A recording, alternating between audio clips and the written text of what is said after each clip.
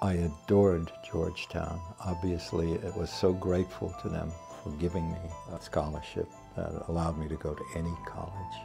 And if I was going to write a novel where these things take place, one, it could not possibly be something like Salem, Massachusetts, for God's sake. It had to be now, the real world. It's the busy, bustling, modern streets of Georgetown. And secondly, I didn't have to do a lot of research about the environs. I knew them uh, so intimately. I don't think the story would be anywhere near as effective if it was set in Los Angeles.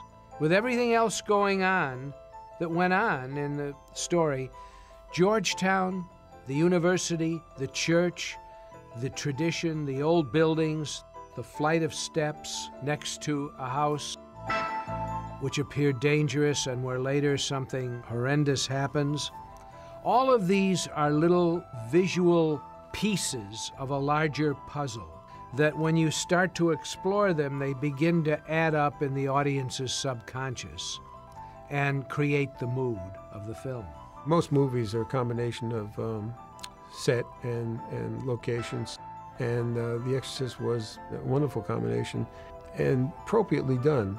Our location scout did an amazing job finding those locations because the places in Georgetown, for example, were beautiful.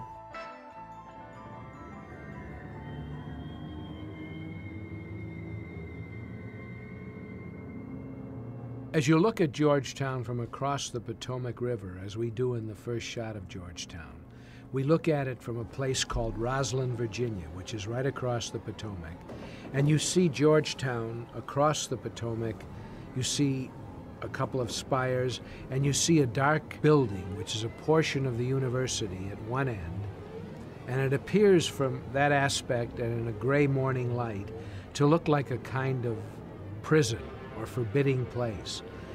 And over at the other end of the frame, the camera starts to move away from that forbidding image on the left into a flight of stairs and a house that appears to be next to that long flight of steps.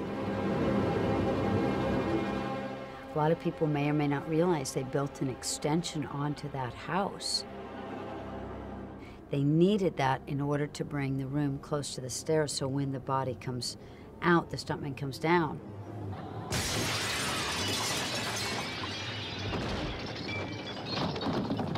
Billy Friedkin had me there the night that they did the stunt fall down the stairs. All those stairs were padded with just the smallest amount of padding.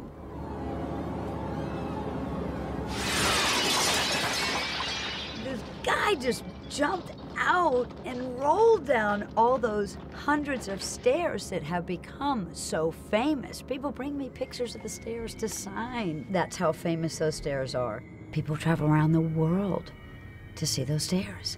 And they're only, I mean, they're literally not wide at all. That's what we want. That's exactly what we want. Filming around Georgetown was as rich an environment to photograph as the Iraqi desert. The campus itself is a Jesuit campus, and so there is an air of religiosity about it, where there is a tradition of Catholic belief and teaching, which is inherent in the very structure of the buildings themselves as you get closer, and in the hallways, and in the chapel, and everywhere that we film. Everything that appears in front of the camera is suggestive of a kind of religiosity and a belief that is going to hang over the entire film. The whole town sort of revolves around Georgetown University.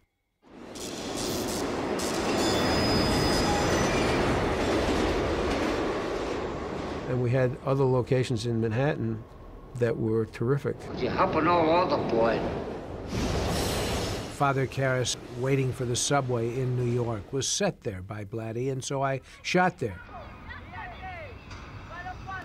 Blatty set Father Karras's visit to his mother somewhere in Manhattan, and we, we picked a street to shoot there.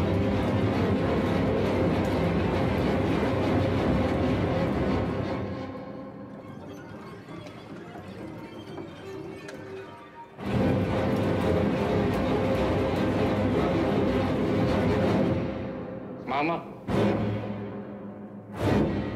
The mother's apartment was in that building. It wasn't a set. The mother's house was tricky to shoot in because that was all live, and, and the hospital and the asylum. So we had our share of moving around. And we shot the interiors of The Exorcist on the old Fox stages on 54th Street and 10th Avenue in, in Manhattan. They're no longer there, but they had two big stages and utilized the whole place. The only thing that was done in that studio, to my recollection, was maybe some other little bits and pieces and the interior of the house. The house we used in Georgetown for the exterior, the rooms were much too small, too light and film. So I knew in order to achieve the kind of movement I had to achieve, I built a three story house for all intents and purposes as a practical house in New York City. I did that because A, I didn't want to be too close to Hollywood, and also we had shot so much in Georgetown and New York, I felt that the set ought to be built on the East Coast, or we would have had to have two crews. It's the power. Hold it.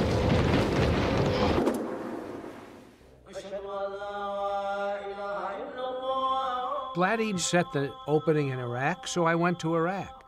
And that was the last thing we filmed. Everyone told me there's no way you'd ever be able to film in Iraq because even then, the U.S. had no diplomatic relations with Iraq.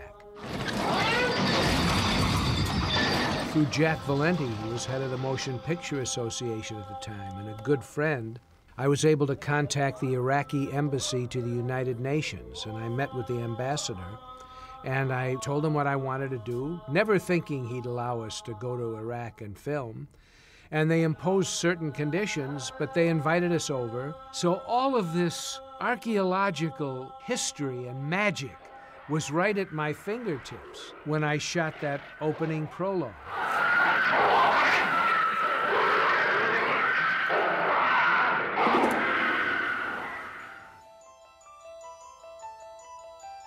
I felt in many ways when I made the film like a landscape painter. And I was very conscious of approaching the Exorcist film in that way, with a kind of painter's eye, all of which was provided for by Blatty in his screenplay. I mean, I didn't invent any of this, but he had given me a roadmap and a place in which to make shots like this. And when I saw it, it took my breath away.